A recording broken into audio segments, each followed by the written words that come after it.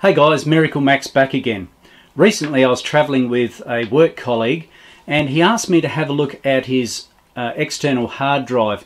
He's got a lot of photos etc on there but unfortunately he can't access the data.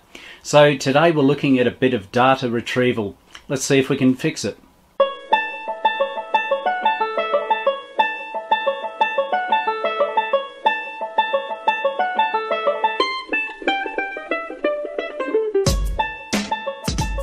With my motto, making the complex simple, it's really, really important to have a very good visual before you make a start with anything.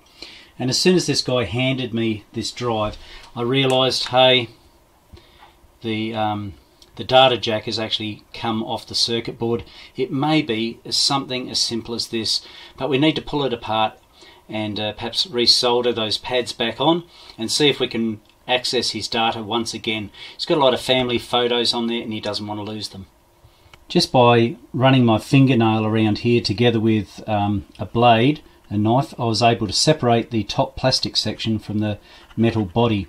Um, that gives us access inside. I'll now need to pull the drive itself out and have a look at how this jack is actually attached to the circuit board. Just by using my metal spudger I was able to gently lever the drive out. It's held in place um, with four little rubber bungs on the side to locate it and keep it safe. It's also covered with all this aluminium foil which will not only protect it but it will stop any um, electrical interference from affecting the drive itself.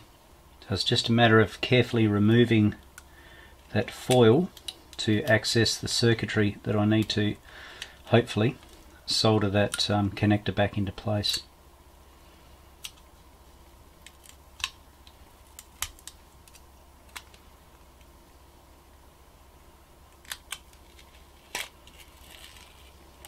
Okay. I might pull that completely out the road simply because it's going to be easier to work on with it not attached. There's our jack, our data connector, and we need to connect it right back onto there, which is going to be lots and lots of fun I'm sure. It'll have to be done under the microscope, so I doubt I can film at the same time, but I'll show you if I'm successful or not. The hard drive that we're working on is a Seagate one terabyte. Uh, the part number is 1RK172-568,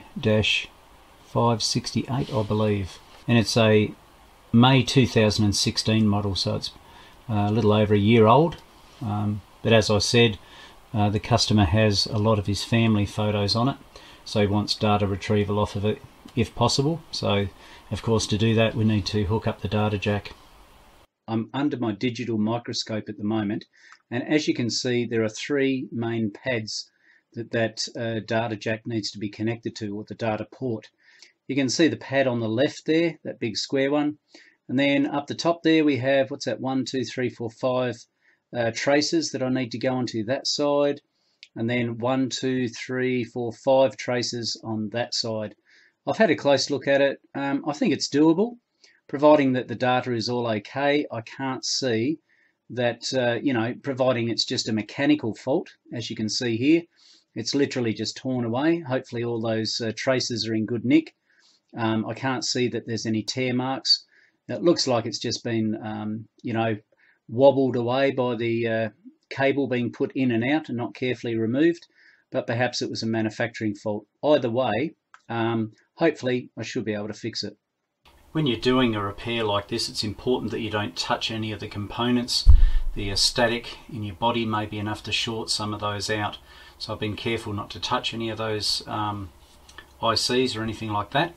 Um, also what I'm going to do is put plenty of flux on those affected areas, heat them up um, and tin both these or all three of those pads um, together with those traces uh, on both the hard drive as well as the uh, the input jack um, just to make sure that we have a good um, solder continuity uh, make sure that it solders correctly. You probably noticed that I've got it in a bench vise and before you have a heart attack and write all sorts of things in the comments I'll just pull the uh, camera down and notice we've got uh, rubber jaws here This was from Aldi, believe it or not. I think it was about 15 bucks. It's really, really good because of those rubber jaws. It doesn't put any pressure on the component that I'm holding and I feel quite safe um, to work on the electronics up here and it'll be held securely while I do my soldering. Now I must apologise for not being able to get you in any closer. It won't focus any closer and I really need to focus on my work rather than the filming at this particular point. So as I said before, uh, first things first, we need to make sure that our um, we have all the, the areas that we're going to work on correctly fluxed and um, make sure that they will give uh, good contact when we do our soldering. So make sure all those points are correctly fluxed. We'll cover them with flux. I'm using a flux pen. Oops, probably too far back for you guys. Just a normal flux pen, they're quite good, easy to use. And of course I'll do the same with the input jack. I'll make sure that I cover those areas with flux in preparation for the soldering.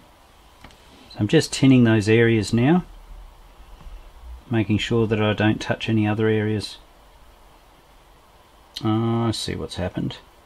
I'll have to replace the jack itself because those pins have actually broken off.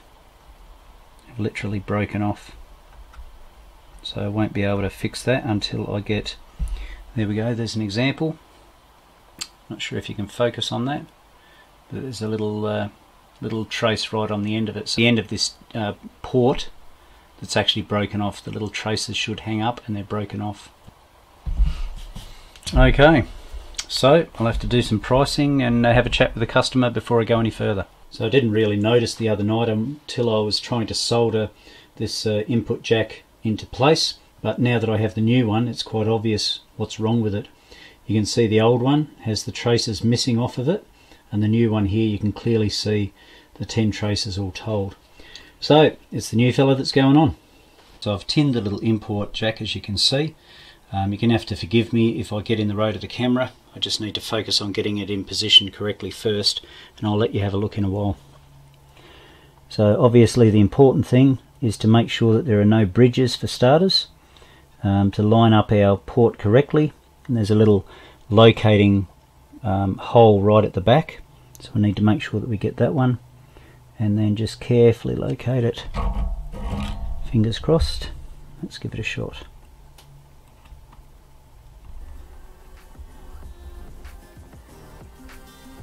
Here we go. I'll just check that before I do anything else, just to make sure that it's correctly positioned.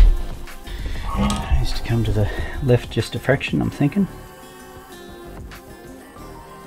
That's looking better there. That looks pretty good over the other side. Just need to make sure that that hole at the back is correct as well. Our pins seem to be lined up, which is a good sign once we get some tension on there then we'll be able to uh, get all those pins in place okay there we go that looks good that side just have to make sure it's nice and vertical just got to do that back leg now get that, that in place so before I go any further what I might do is actually put it in the case um, and make sure that that jack is in the correct position. Then I can put down all the pins, solder them in place. So you can see that I've just chucked it in the housing itself.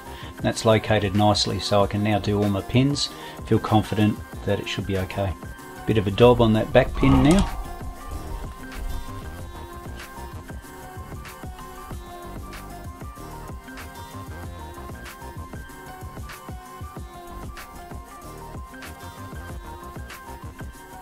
Have a wipe down there with some flux. Make sure that we get rid of any impurities. And then, in theory, just a matter of soldering them up. We'll start with the far lot first, see how we go with those.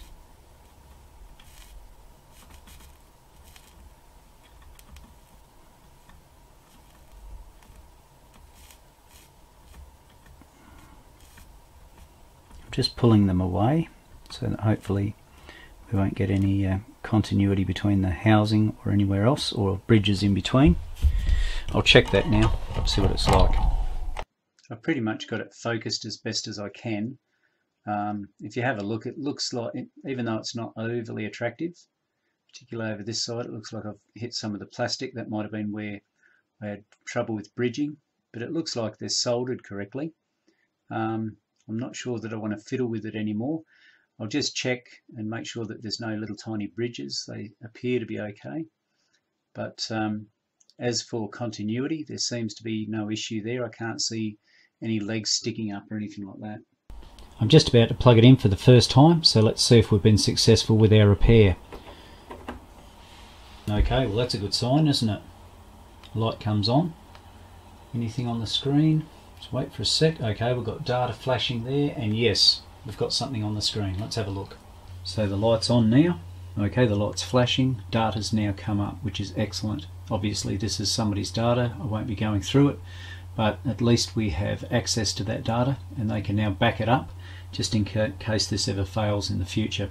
So I'd say that's a successful repair, guys. So guys, that repair worked out quite well, didn't it? It was actually a physical repair, a broken input jack. I'm going to encourage the customer to take more care when removing the charging cable or the data cable and carefully removing it rather than yanking it out. It may have actually been a fault with it originally, I don't know. This had a lot of his work gear on it as well, so I'm sure he'll be happy to get it back in one piece. Guys, I hope you enjoyed the video. I've learnt something myself this time as usual. If you haven't already, please subscribe to the channel. If you enjoyed this video, give it a like and always feel free to comment down below. I'm interested in what you have to say. So until next time, this is Miracle Max signing off. Catch you later.